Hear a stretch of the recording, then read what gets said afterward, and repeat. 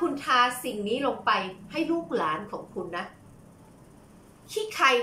ตามหูหรือตามคอตรงเนี้ยหายเกลี้ยงเลย ไม่หนำซ้ำไม่เจ็บด้วยค่ะ มา สิ่งที่คุณต้องมีก็คือสำลีเนาะสำลีจะเป็นสำลีก้อนสำลีแผ่นสำลีอะไรก็ได้เนาะแต่อย่าใช้ผ้าถ้าใช้ผ้าเนี่ยอาจจะเจ็บได้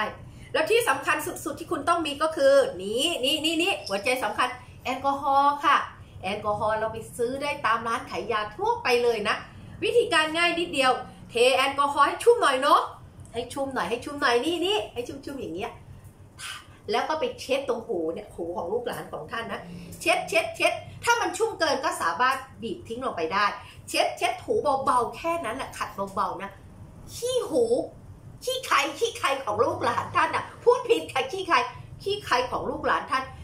หลุดออกมาอย่างง่ายดายเลย นี่นี่คือข้อมูลดีๆของแอลกอฮอล์นะ จะมีกี่คนเนาะจะมีกี่คนเนาะที่เคยใช้วิธีการนี้ทำความสะอาด เช็ดขี้ใครให้ลูกหลานของท่าน ไม่เจ็บเลยอะลูกหลานไม่เข็ดขยะอยากจะให้ท่านมาทำความสะอาด เช็ดขี้ใครให้เขาเนาะนี่นี่นี่นี่นำไปใช้สิคะนำไปใช้ แต่ถ้าใครมีปัญหาเรื่องนี้อะอ้าววันนี้ไหนๆก็พูดถึงเด็กๆแล้วนะ พูดถึง เลือดกำเดาดีกว่า เลือดกำเดาที่ไหลอะหลายคนนะมีลูกหลาน หรือตัวท่านเองเนาะถึงแม้จะมีอายุเยอะแล้วเนี่ยเลือดกำเดาอะมันไหล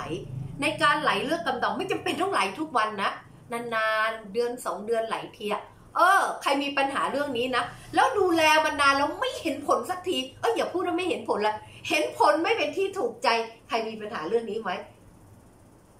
ให้เปลี่ยนวิธีการใหม่ๆเลย อยากถามว่า เออ